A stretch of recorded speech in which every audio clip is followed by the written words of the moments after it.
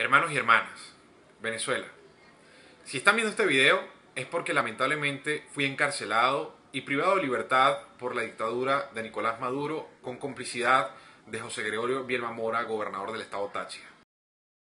José Vicente García salió de su domicilio para dirigirse al Consejo Municipal, donde tenía programada una sesión cuando fue detenido. Se sabe que no le fue presentada ninguna orden de aprehensión. Durante el tiempo en que se desconoció el paradero de José Vicente, su esposa escribió en la cuenta de su marido, Denuncio que el SEBIN ha perseguido a mi esposo desde el sábado y lo secuestraron esta mañana. También escribió, Urgente, mi esposo José Vicente García está secuestrado por SEBIN fuertemente armado. No sabemos dónde está ni qué puedan hacerle. Tememos por su vida. También comunicó que extraoficialmente sabía que le habían sembrado granadas y uniformes militares en su vehículo.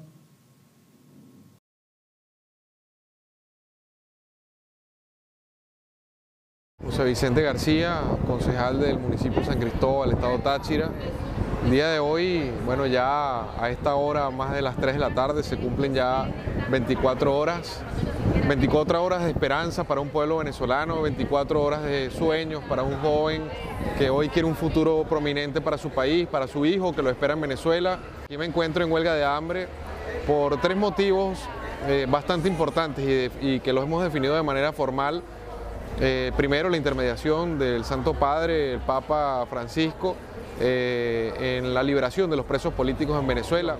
Además, hemos pedido la intermediación por parte del Santo eh, Padre, el Papa Francisco, para que interceda ante el gobierno venezolano y pueda permitir el ingreso de organismos como la ONU, la OEA, la Corte Interamericana de los Derechos Humanos, la Unión Europea, en función de que puedan ir a velar por los derechos humanos que están siendo violentados de manera flagrante y sistemática en nuestro país. Y la tercera, pero no menos importante, hemos pedido al Vaticano que a través de algún alto funcionario, si es posible del mismo Papa Francisco, eh, poder escuchar la realidad de la persecución, del amedrentamiento y por supuesto la persecución a las personas que hoy piensan distinto y que quieren un país diferente para todos los venezolanos. No sabemos si podemos regresar a Venezuela después de esta huelga de hambre, no sabemos si el gobierno venezolano va a permitir que nosotros estemos allá nuevamente.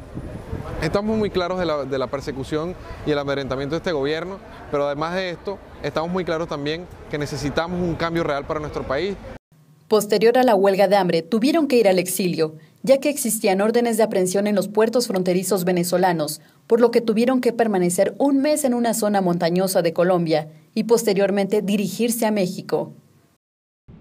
Y sin embargo también tuvimos el riesgo de no poder estar con nuestra familia, no poder regresar a nuestro país. Bueno, aquí estamos, pero estamos seguros que vamos a regresar a nuestro país en algún momento y vamos a reconstruir nuestro país desde cero. En el año 2013 tuvimos una eh, convulsión social a finales de ese año que generó para el año 2014, en febrero del 2014, una mm, importante eh, efervescencia en el pueblo que generó una protesta nacional. Eh, habían calles trancadas, barricadas en todo el país, murieron muchísimas personas y además más de 3.600 personas fueron detenidas y procesadas en nuestro país, incluyendo a nuestro compañero dirigente político Leopoldo López, que fue detenido, y un mes después fue detenido nuestro compañero Daniel Ceballos.